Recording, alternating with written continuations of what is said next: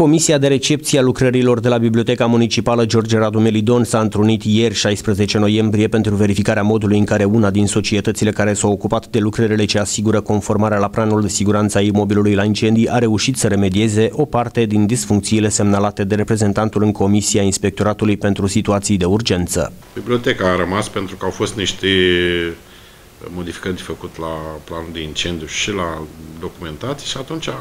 s-a stabilit că astăzi înceapă recepția finală pentru, din cauza s-a tot amânat această recepție finală, să înceapă astăzi cu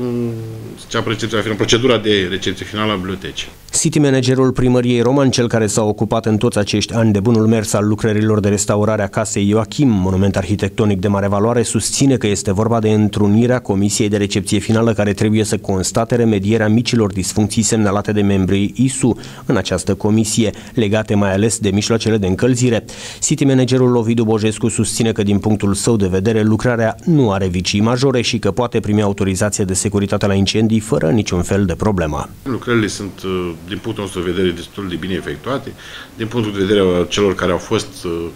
care s-au prezentat până la ora asta, de exemplu, reprezentantul ISU nu a ajuns la ora asta, deși a fost convocat la ora 10.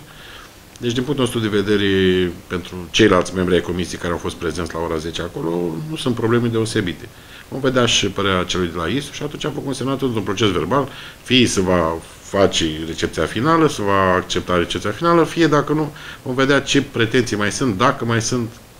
ca lucrurile să încheie în ordine. Până la ora documentării noastre, miercuri 16 noiembrie, în jurul orei 12 și jumătate, reprezentantul ISU nu ajunsese la ședința Comisiei de Recepție. City managerul primăriei apreciază însă că dacă inspectorul ISU va mai găsi mici obiecțiuni, acestea vor fi consemnate în procesul verbal final de recepție și vor fi remediate de către firma responsabilă în termenul de garanție a lucrării, care curge timp de 2 ani de la recepția finală a acesteia.